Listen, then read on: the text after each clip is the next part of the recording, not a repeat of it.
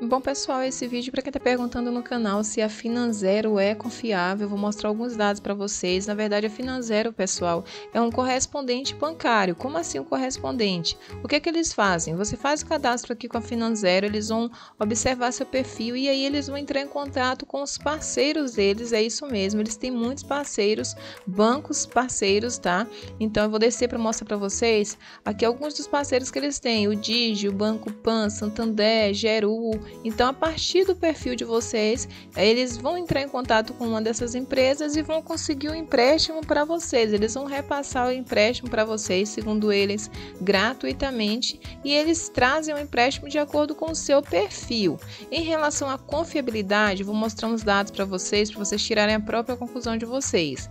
Clicando aqui no simulador web, que é um plugin, Observe que no Brasil esse site ocupa a posição 2039, tá, pessoal?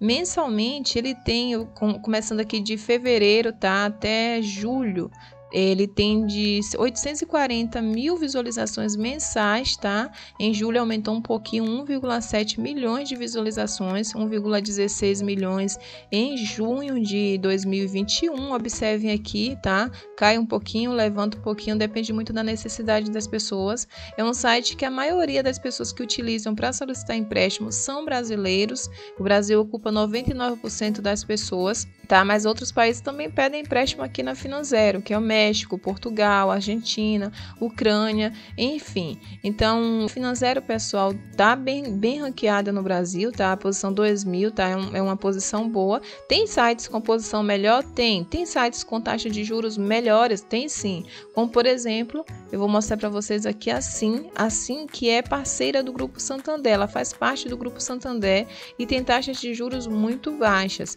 A taxa de juros da, da Sim, pessoal, é a partir de 1,29 ao mês. O que, que significa isso? Significa que quanto menos parcelas você dividir seu empréstimo, mais baixa vai ser a taxa de juros. E se você for cliente do Santander, não é, uma, não é um requisito, mas se você for cliente do Santander, ainda vai ser mais baixa. Então, ela começa em 1,29% a taxa de juros, podendo ir até 4, pouquinho. Por exemplo, se você for dividir 24 vezes, aí vai ser, por exemplo, 4, eu não lembro a fração de juros, mas eu vou deixar um vídeo embaixo onde eu mostro como você simular direitinho aqui, faz um pequeno cadastro, simula. Se você tiver interesse, você já pede totalmente online, tá? Em relação ao site, como eu mostrei lá na Finanzero, observem que o site da Sim está muito melhor ranqueado, tá? A Finanzero ocupa a posição 2000 e alguma coisa, o site da Sim ocupa a posição 902. E a quantidade de visitas mensais é muito superior, tá? É acima de 2 milhões a maioria das, da, dos meses. Então aqui em fevereiro estava com 1,64 milhões, olhem isso, março 2,1 milhões, vem subindo, tá? Vem subindo. Agora em julho, 2,21 milhões de pessoas acessam o site da Sim mensalmente, tá? A maioria também do Brasil, mas outros países também pedem empréstimo através da Sim, como Estados Unidos, Ucrânia, Reino Unido, Portugal, enfim, como eu falei, é um parceiro do site, é um parceiro do Grupo Santander.